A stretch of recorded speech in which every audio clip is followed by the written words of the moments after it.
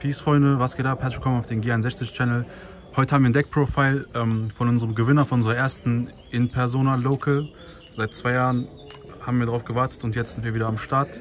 Ähm, war ganz nice, hat Bock gemacht, wir haben fünf Runden gespielt. Hier ist der Gewinner. Und ja, wer bist du und was hast du gespielt? Ja, ich bin Ben Kreuzkamp, online vielleicht bekannt als Ben K1W. Und ich habe Tri Brigade gespielt, aber ja, mit einem kleinen Synchro-Touch, also Synchro Tri Brigade. 5-0, ne? Ja, genau. Okay, nice. Dann zeig mal her. So, ja. Also zuerst mal, ich habe die Rescue Cat Version gespielt, also quasi inspiriert von der puren Variante im Gegensatz zu der Zodiac Variante, also drei Rescue Cat und dann dementsprechend das klassische Tri Brigade Package, drei Fraktal, drei Kit, drei Nerval und eben zwei Keras, weil es der einzige Name ist, der eigentlich ein Engine bringt. Das ist, denke ich, mehr oder weniger selbsterklärend. Sieht man momentan, glaube ich, in jedem Tri Brigade Deck. Und dann, was das Ganze ein bisschen spezieller macht, ist, ich habe äh, drei Fabled äh, Zerburre gespielt. Das ist ein Tuner-Monster, den man von Rescue Cat holen kann. Ähm, und er triggert oder er specialt sich aus dem Grave, wenn man ihn abwirft, zum Beispiel für Keras oder für ähm, Bearbrum Extra Deck. Und der hilft einem eben, ja, sein, die Plays ein bisschen zu extenden. Man kann verschiedene Synchromonster, sehen wir gleich im Extra Deck, dann erkläre ich das nochmal ein bisschen mehr, ähm, hinlegen. Und ja, es gibt dem Deck halt so Möglichkeiten zu extenden und Boards hinzulegen, die es sonst nicht hat. Und die Karte ist wie gesagt an sich kein Brick, wenn man ihn zieht, deswegen spiele ich ihn dreimal, ähm, weil er eben mit Keras gekommen und ein Extender ist. Ähm, dann für Handtraps habe ich drei Gamma, ein Driver. Ähm, sehr gut in dem Deck, starke Going Second Handtrap, aber in dem Deck auch sehr oft Live Going First. Ähm, Gegner sind geforst, äh, Fraktal in der Hand zu ashen gegen das Deck, weil es quasi nichts anderes Ashbares gibt außer äh, Rescue Cat. Und in beiden Fällen ist Gamma in der Hand eben live. Ähm, dann drei Ash, drei Veiler und drei Imperm. Ähm, generischsten Handtraps, ähm, Ash in jedem Format gut, klar, Veiler und Imperm, ähm, besonders momentan, weil Tri-Brigade so äh, beliebt ist, sehr gut. Ähm, von daher denke ich, dass das fürs Main Deck die besten Handtrips sind. Ghostbell kann man noch ähm, überlegen momentan, aber ich habe das heute gespielt, weil man bei Locals auch immer nicht so genau weiß, was für Decks auftauchen. Und dann habe ich noch drei Soravis gespielt, das ist vielleicht ein bisschen spezieller. Hat man jetzt sehr, sehr lange nicht gesehen, außer vielleicht vor zwei Jahren mal in irgendwelchen äh, Warrior-Combo-Decks. In dem Deck ähm, ganz interessant. Die Theorie dahinter ist, dass ähm, ja, von den drei Handtrips Ash, Veiler, Imperm, die man ähm, ja, auf seinen Namen, auf seine Engine kassiert, ähm, nur Ash und Vader durch Cold by the Grave zu hitten sind. Und die anderen beiden Imperm Vader, die eben deutlich mehr wehtun, weil diese auch nicht durch Gamma protected werden können, wie vorhin erklärt, ähm, eben durch Saravis protected werden können. Außerdem ist es, wenn man viel Striker erwartet, auch im Grind Game eine gute Karte, kann äh, Going Second gegen Virtual zum Beispiel Chucha auch negieren. Ähm, generell relativ flexibel. Fühlt sich ein bisschen speziell an, aber ich denke gerade in, ähm, in Turnieren, wo man von Striker ausgeht, kann man sie gut spielen in dem Deck. Ähm, deckt so ein bisschen die Schwäche ab. Ist in dem Deck auch mehr oder weniger suchbar durch Herald of the Arcland im Extra-Deck. Dann drei Tanky, denke ich, Standard in dem Deck, auch wenn man keine Zodiacs spielt.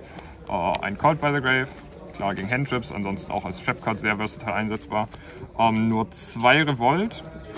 Ähm, es ist an sich ein guter Backup-Plan, immer wenn man Revolt Harddraw hat. Aber insgesamt ist es ein Combo-Deck, du wirst die Karte nicht mehr als einmal suchen. Ähm, und nach Turn 1 hast du in den allermeisten Matchups, wenn du First gehst, gewonnen. Ähm, drei Revolt sind nicht nötig. Man will wirklich nicht an der, Tat, an der Karte tot bricken. Ähm, man kann sie auf 1 runtercutten, habe ich auch vor, vorher schon probiert. Dann könnte man sowas wie Foolish noch für zusätzliche Engine spielen. Aber ich denke, zwei, wenn man sie ab und zu als Backup hat, ist in Ordnung. Und dann ja, eine Imperial Order im Main Deck. Ähm, Wie viele Main Karten? äh, 40 Main Karten. Okay, nice. Imperial Order tut dem Deck eben nicht weh, ist eine unglaublich starke Karte. Protected von Blowout Spells. Ähm, ja, sieht man in vielen Listen, denke ich momentan. Dann fürs Extra Deck an Tri Brigade Monstern zwei Ferrigeet, äh, eine Bearbrum, ähm, ein Rugel und zwei Shrike. Ähm, Extra Deck ist ein bisschen enger, deswegen keinen dritten Shrike, dadurch, dass ähm, man eben ja, Synchro-Monster ein bisschen mehr Combo spielt. Ähm, von dem Rest sind mehr nicht nötig. Rugel, habe ich gehört, cutten sogar einige Leute, aber ich finde ihn trotzdem ganz nützlich. Man kann damit ähm, ja, interessante Plays machen im Gegnerzug, das erkläre ich gleich noch. Ähm, und manchmal braucht man einfach Link 3, dass man Verbrum weglinkt, das ist ja ganz nützlich. Ähm, von daher das an Tri-Brigade-Monstern. Und dann an weiteren Tri-Beast äh, Extra-Deck-Karten, äh, Double Dragon Lords und Vesvelga. Ähm, ja, beides Targets für die Effekte eben. Ähm, Doom Eagle hauptsächlich um einen Access Code zu gehen und vielleicht Array wegzuschaffeln. Ähm, Double Dragon Lords ist eine extra Interruption äh, im Turn 1, die gerade im Mirror sehr gut äh, kommen kann. Dann ein Mirage muss man spielen, dadurch, dass man, wenn man Nerval oder Kit startet, eben die Normal Sum weglinken möchte, um in Engine zu kommen. Ähm, Access Code und Apollousa, die äh, Link 4s. Access Code zum Töten. Apollousa eben Turn 1, um zusätzliche Negates hinzulegen. Man kann sehr oft ähm, zum Beispiel einen Bearbrum in Apollousa weglinken und danach den Effekt äh, benutzen, um zu suchen. Das heißt, man ist danach gelockt, kann aber die Apollousa noch hinlegen. Und dann das Synchro-Package, das mein ähm, Deck eben ja, ein bisschen spezieller macht, würde ich sagen.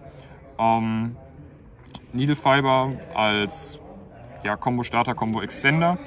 Ähm, wenn man eben Rescue Cat oder den Tuner als Discard startet, ähm, dann kann man in Needle Fiber gehen, Keras, Keras specialen, ähm, von da aus weitere Plays machen. Dann hat, kommt dann ein weiteren Tuner durch Needle Fiber aufs Board und dann kann man äh, Kit oder Keras sehr oft in Herald of the Arclight weglinken, der im Grave dann zum Beispiel aus Soravis suchen kann. Und im Gegnerzug kann Needle Fiber dann austaggen. Benutzen viele Decks nicht, aber das Deck ist quasi fast gezwungen dazu, das zu nutzen, dadurch, dass äh, die Tri-Brigade-Effekte ähm, dich locken, dass du Needle Fiber relativ schnell nicht mehr weglinken kannst in deinem Zug. Das heißt, du lässt ihn einfach liegen, text ihn im Gegnerzug aus, beschwörst Shooting Riser und dann kannst du Shooting Riser mit einem Namen, zum Beispiel einem Nerval, der liegen geblieben ist, oder ähm, wenn du das Level manipulierst, vorher mit Shooting Riser auch mit einem anderen Namen, äh, wegsynchron in einen Savage Dragon. Und das Coole an dem Savage Dragon ist, dass er eben die Tri-Brigade Monster vom Grave equippen kann und die dann, wenn sie in den Grave gehen, nochmal triggern. Zum Beispiel kann man einen Shurike äh, equippen und dann bekommt man nicht nur vier Negates, sondern auch wieder einen Search, wenn der in den Grave geht von da aus. Ähm, kann von da aus zum Beispiel dann auch als Equip-Card für Double Dragon Lords als Kosten gesendet werden. Ähm, ja, genau, dann kann man natürlich auch mit dem Rugal Plays machen, wo du ähm, auf Rugal Pass mit Rugal was reborns und dann mit Shooting Riser für Savage wegsynchrost. Deswegen ist Rugal ganz nett in der Liste zum Beispiel. Ja, ich denke, das wär's. Side Deck?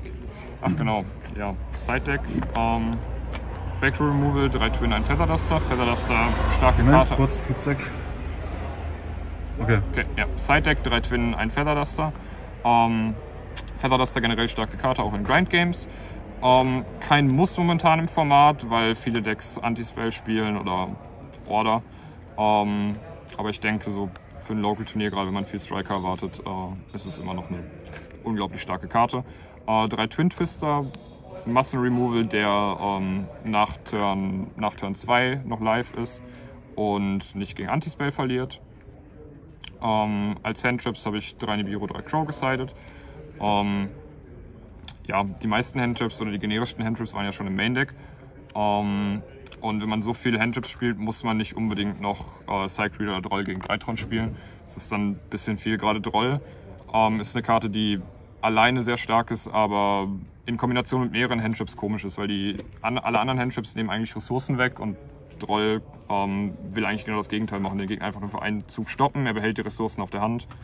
Ähm, von daher mit vielen Handtrips würde ich eher Krähe gegen Dreitron oder so zusätzlich sein.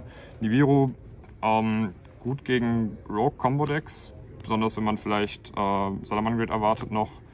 Kam heute für mich nicht auf, würde ich glaube ich in größeren Turnieren auch so nicht spielen. Ähm, ja, Lanze vielleicht noch zusätzliche Handtrap. Ähm, Im Tri-Brigade Mirror Match sehr gut. Ich habe jetzt nur eine gespielt, weil ich zusätzlich noch das äh, Artifact Package gespielt habe. Ähm, dass ich sie dafür wenigstens als Target habe sozusagen. Ähm, ja, Artifact Package für Going First kann alternativ auch Anti-Spell sein. Verliert halt nicht gegen Backrow Removal und ähm, wenn man irgendeinen Play Going First hatte, dann kassiert man sowas wie Gamma oder Imperm oder Ash halt schon auf sein Play und kann das Artefakt, äh, Artefakt-Sense dann resolven. Jo, Das war's? das wär's. Äh, willst du noch sagen, was für Matchup hat, Matchups hattest? Um, meine Matchups waren Pendel Runde 1. Das war ein bisschen hin und her, weil ich Game 1 gebrickt hatte.